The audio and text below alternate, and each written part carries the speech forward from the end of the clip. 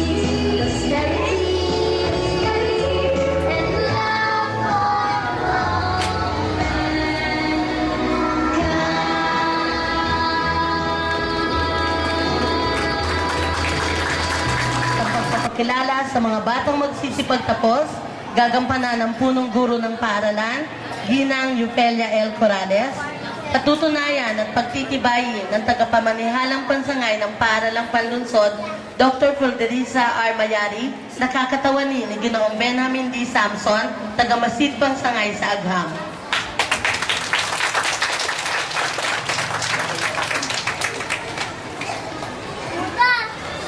Isang mapagpalang umaga po sa ating lahat na naririto upang saksihan ang unang pinakamahalagang pangyayari sa buhay ng ating mga munting anghel.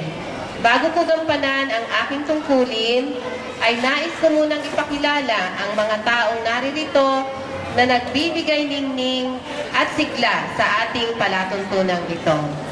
Siyempre, ang pinakamahalaga sa amin, ang mga mahal naming mga magulang ng mga batang ito sa pangunguna ng kanilang Pangulo, Ginang Faith Marchan.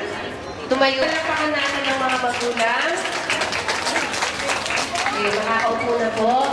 Mga guro nakatulong sa mga lahat ng aming pagpupunyagi para mapaganda ang ating palatuntunan ito. Pangunguna ng ating Division Supervisor sa Science, Dr.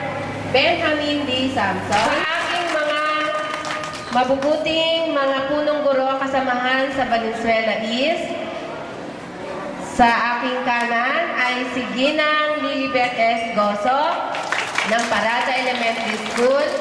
Narito na rin po ngayon ang ating tagamasid Pampurok, Dr. Nieves M. Rodriguez. Narito rin ang ating kasamang si Dr. Darino G. Elizaga ng Mapulang Lupa Elementary School. Kasama ang ating magandang kasamahan na principal ng Andres Mariano Elementary School, Ginang Merly D. Organiza. Sa guro ng mga batang ito, si Gina ay binibining Anamer Chanya. Singkukulin. Dr. Nieves M. Rodriguez. Ikinagagala ko pong ipakilala sa inyo ang labing siyam na batang lalaki, dalawampung batang babae, na kasiyasiya nilang natapos ang kurikulum pang kindergarten 1 na itinakda ng kagawaran ng edukasyon ngayong taong panuruan 2011-2012 na hinihiling ko pong ang inyong pagpapatunay. Magandang umaga po sa inyong lahat.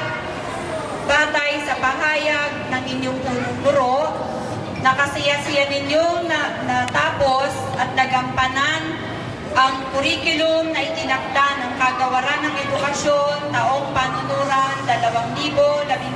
2011-2012 kung kaya hinihiling ko ang na ito ay patuna, patibayan.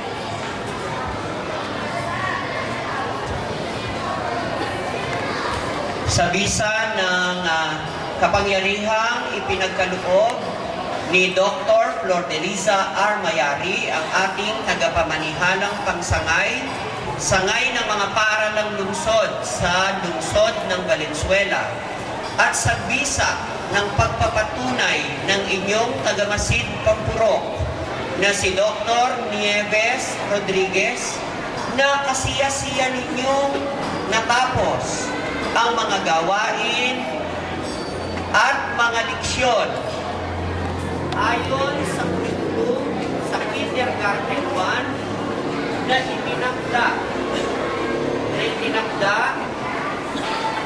ng kagawaran ng edukasyon. Kung kaya ngayon ay pinagtitibay ko ang inyong pagtatapos. Ilipat natin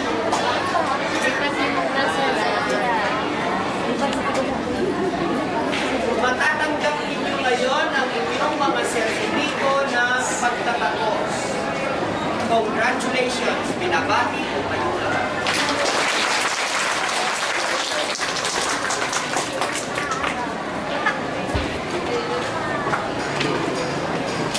Pong salamat. Maaari maupo muna mga bata.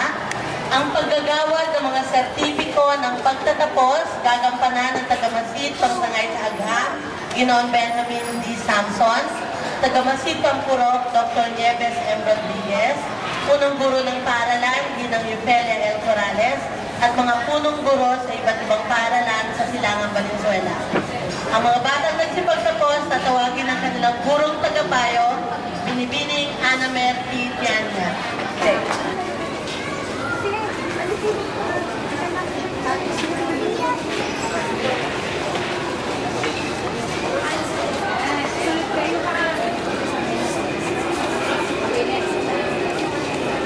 Gerson